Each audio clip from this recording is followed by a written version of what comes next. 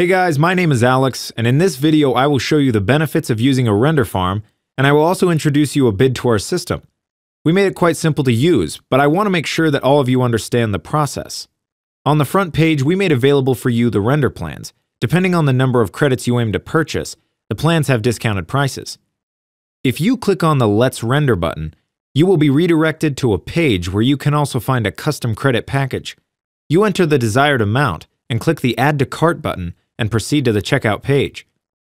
I will start by showing you how to create a new user on our website. I will walk you through the entire process. You can click on Login, then if you are not already registered, you have the Create an Account option available. Here you need to add your first name, last name, email address, and password. You can also sign up for our newsletter in order to receive news from us regarding bonuses or new features that we are going to release in the future. After filling these information, you click on Submit and you will be automatically logged in. On the account page, you have on the right side the credit number available. All the customers will get 10 credits to use for our demo plan. You can use the credits for actual render time, but you will receive a watermarked file when downloaded. Only JPEG and PNG files are supported for output on the demo account. You can also use these points to render HDR, EXR, or other file formats you may choose, but you will be able to download them after making a payment on our website to activate your account. If you overlay on Let's Render, you will get a dropdown, and there you can see the cost calculator. This will help you approximate the amount of credits that you are going to use for rendering your scene. You will need to enter the number of frames, the render time on your machine, then configure the workstation to match your settings in order to get a close approximation over the costs for your job. I call this an approximation because depending on the complexity of your scene, it may take more or less credits to obtain the final render on your project.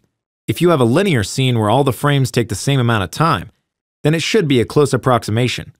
In the same dropdown, you will be able to find the FAQ and video tutorials, where you will be able to find information about the process you need to follow in order to submit your projects to our render farm.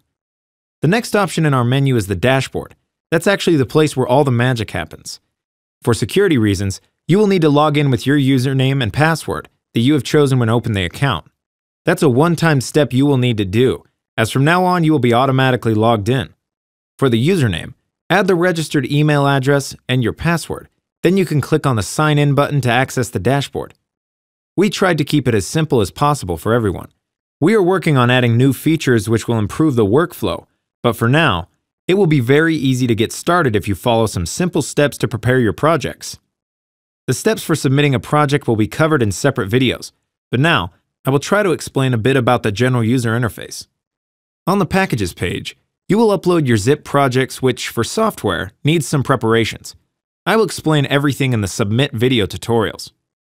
Clicking on the plus button will open a new window where you add the name of the package and select the software type for your job.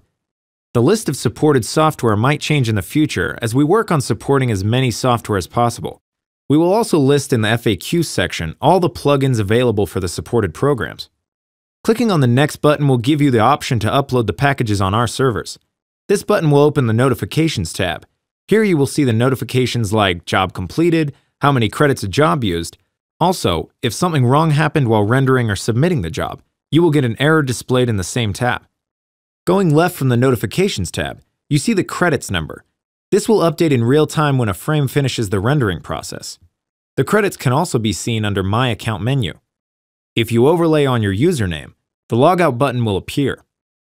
On the Packages and Jobs page, you can use filters to display the content, sorting them by software type, status of the job, or the package name.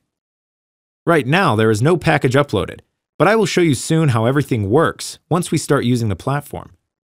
On the left side, we have the stats for number of uploaded packages, jobs, active jobs, and the failed ones. The stats are also active links, which will open a page with the active jobs, failed ones, etc. Okay, so we covered the basics of our system, and we'll get more in depth once we start testing packages. Thank you for watching our CGI Farm introductory video. For more information on package upload and rendering, please watch the other videos listed on the tutorials page. CGIFarm.com